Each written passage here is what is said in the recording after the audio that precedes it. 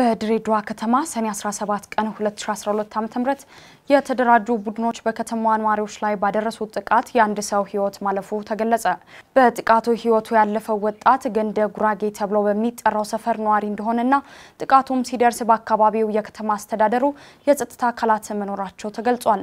ጥቃት አድራሽ ቡድኖቹም የጸጥታ አካላቱ በቁጥጥር ስር እንዳልዋላቸው ነው ለአስራት የደረሰው መረጃ የሚያመላክተው። በጉዳዩ ላይ ማብራሪያ እንዲሰጡን ወደ ድሬዳዋ ከተማ ፖሊስ ኮሚሽን የህዝብ ግንኙነት ኮማንደር ገመችስ ጋር የደወልን ቢሆንም ስልካችንን ባለማንሳታቸው ምላሹን ማካተት አልቻልንም። በተመሳሳይ በድሬዳዋ ማረሚያ ቤት ገጀራና ሌሎች ስለታማ ነገሮች ወደ ማረሚያ ቤት እየገቡ እንደሆነ ተነግሯል። ታራሚዎች በብሔራቸውና በሃይማኖታቸው ጥቃት እየተፈጸመባቸው እንደሆነ የታራሚ ቤተሰቦች ለአስራት ተናግሯል። ታራሚዎቹ ጉዳዩን ለማረሚያ ቤቱ አስተዳደር አካላት ቢያቀርቡም መፍትሄ እንዳላገኙና ይልቁንም በጥቃቱ እንዲፈጸም የማረሚያ ቤቱ አካላት ከጀርባ መሆናቸውን ታራሚዎች ለቤተሰቦቻቸው መናገራቸውን የታራሚ ቤተሰቦች ለአስራት አስረድተዋል።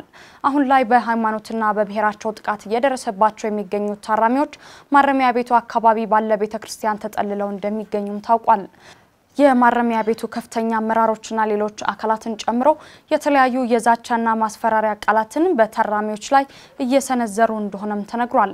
በጉዳዩ ላይ ማብራሪያ እንዲሰጡን የድሬዳዋ ከተማ ማረሚያ ቤት ኃላፊ የሆኑት አቶ ምህረት ጋር በተደጋጋሚ ብንደውልም ስልካቸውን ሊያነሱልን አልቻሉም። በተመሳሳይ የማረሚያ ቤቱ ማዕከል አስተዳዳሪ ኮማንደር ወንድሙ ደበላ ጋር በተደጋጋሚ ወደ እጅ ስልካቸው ብንደውልም ስልካቸውን ሊያነሱልን አልቻሉም። በመሆኑም ምላሽ የሚሰጥ አካል ከተገኘ ምላሹን ለማስተናገድ ሚዲያችን ክፍት መሆኑን ማሳወቅ እንወዳለን። ዘገባው የሪፖርተራችን ገነት አስማማው ነው።